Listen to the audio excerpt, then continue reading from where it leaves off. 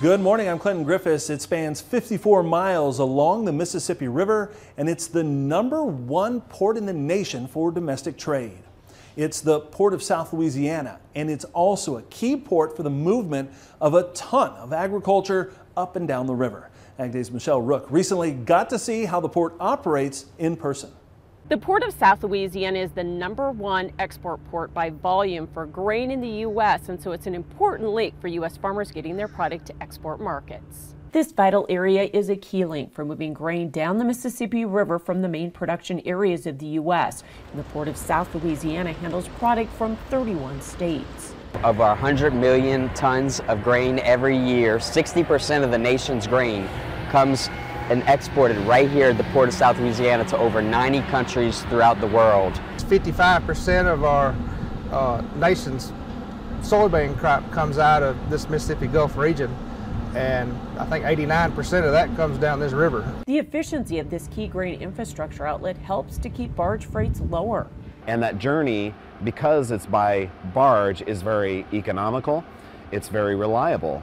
And so it's really one of those secrets to our success. And Steenhoek says the end result is stronger grain prices for farmers. When your supply chain becomes better or worse, those benefits or those costs get passed on to the farmer in the form of basis. The efficiency of the Port of South Louisiana is also a key to keeping U.S. farmers competitive globally. There are other countries that, that can produce the bushels, but they can't get it to market as efficiently as we can. That competitive edge has been threatened the last two years with historically low water levels on the inland waterway system tied to the drought.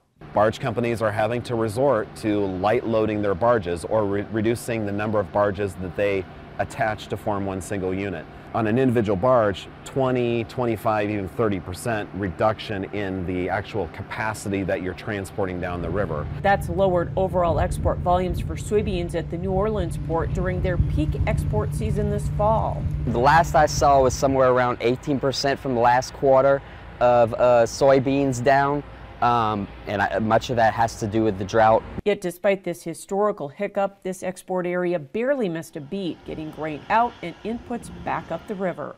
Even in the midst of low water conditions, very unfavorable conditions for transporting by barge, you still saw last year 55% of soybean exports leave from this area of the country, which is really a testimony to how profound this area is for us. As a result, farmers are making major investments to keep this infrastructure efficient and effective for the future.